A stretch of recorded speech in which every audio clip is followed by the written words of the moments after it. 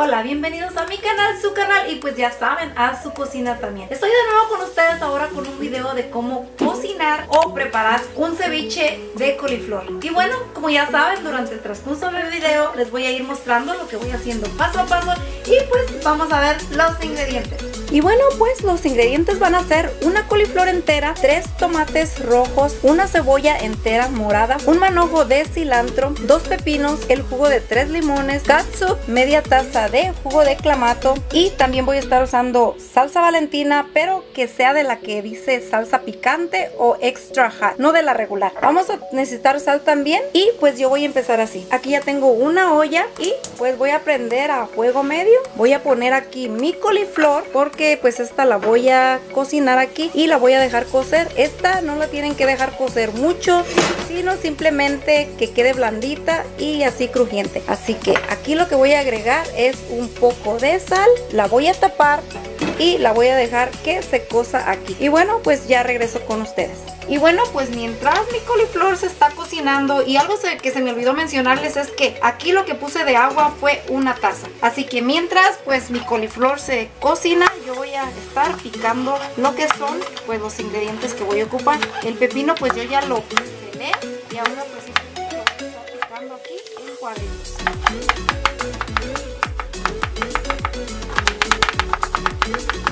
Hacer lo mismo con el tomate. La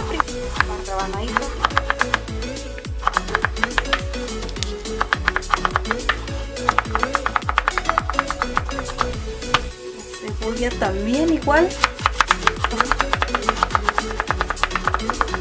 Y pues por último me voy con el cilantro.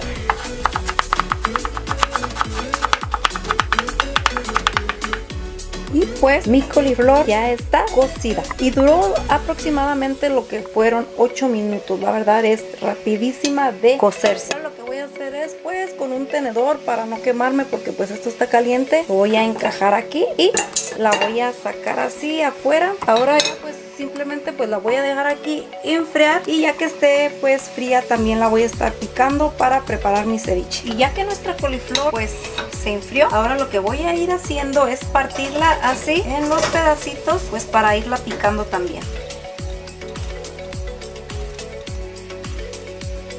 Lo que va a quedar fuera simplemente es este que tenía como en medio. Lo demás pues lo voy a picar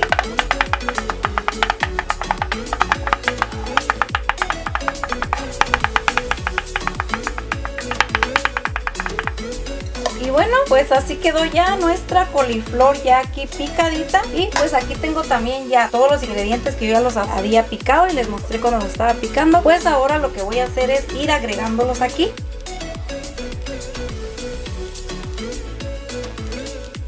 Y ahora pues ya lo que voy a hacer es revolverlo aquí para que se integre todo junto. Es de coliflor, pero me parece que fuera ceviche de camarón.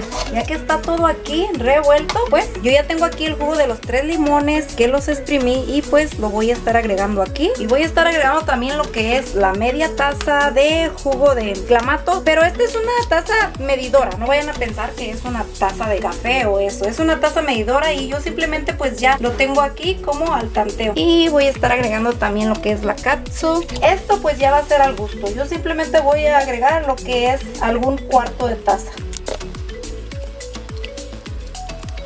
Y voy a estar agregando también lo que es la salsa valentina